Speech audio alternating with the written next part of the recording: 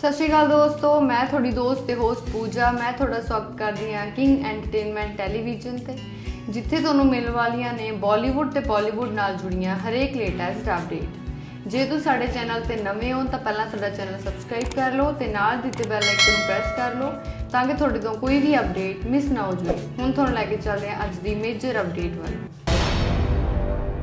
ਇਹ ਅਪਡੇਟ ਸਾਨੂੰ ਦਿੱਤੀ ਗਿਆ ਓਮਕਾਰ ਗਰੇਵਾਲ ਵੱਲੋਂ, ਜਿਨ੍ਹਾਂ ਨੇ ਆਪਣਾ Song ਅਨਾਉਂਸ ਕਰ ਦਿੱਤਾ ਹੈ ਜਿਸ ਦਾ ਟਾਈਟਲ ਹੈ, ਜੱਟ ਦੀ ਮੰਗ। ਜੇ ਆਪਾਂ ਰੈਡਿਸ ਦੀ ਗੱਲ ਕਰੀ ਤਾਂ ਇਸ Song ਨੂੰ ਗਾਇਆ ਗਿਆ ਓਮਕਾਰ ਗਰੇਵਾਲ ਵੱਲੋਂ ਲਿਰਿਕਸ ਦਿੱਤੇ ਗਏ ਨੇ ਦੀਪ ਚਾਂਬਲ ਵੱਲੋਂ ਮਿਊਜ਼ਿਕ ਦਿੱਤਾ ਗਿਆ ਹੈ ਗੈਫੀ ਵੱਲੋਂ ਪ੍ਰੋਡਿਊਸ ਕੀਤਾ ਗਿਆ ਹੈ ਹਰਬਾਨੀ ਐਂਡ ਅਸੀਸ ਕੌਰ ਵੱਲੋਂ, ਤੇ ਇਸ Song ਦੇ ਵਿੱਚ ਸਾਨੂੰ ਮੇਨ ਲੀਡ ਦੇ ਵਿੱਚ ਐਕਟ ਕਰਦੇ ਨਜ਼ਰ ਆਉਣਗੇ ਓਮਕਾਰ ਗਰੇਵਾਲ ਦੇ ਨਾਲ ਨਵੀਂ ਗਰੇਵਾਲ, ਸੋਨਾਲੀ ਮਰੋਤਰਾ, ਮਨੀ ਬੌਸ। ਤੇ ਤੁਹਾਨੂੰ ਦੱਸ ਦਈਏ ਕਿ ਬਹੁਤ ਜਲਦ ਇਹ Song 20 ਜੂਨ 2021 ਨੂੰ ਲੀਧਰ ਰਿਕਾਰਡਸ ਦੇ ਲੇਬਲ ਅੰਡਰ 36 ਸੁਣਨ ਨੂੰ ਮਿਲ ਜਾਵੇਗਾ ਸੋ ਕਿਵੇਂ ਲੱਗੀ ਤੁਹਾਨੂੰ ਸਾਡੀ ਅੱਜ ਦੀ ਅਪਡੇਟ ਸਾਨੂੰ ਲਾਈਕ ਕਮੈਂਟ ਐਂਡ ਸ਼ੇਅਰ ਕਰਕੇ ਜ਼ਰੂਰ ਦੱਸੋ।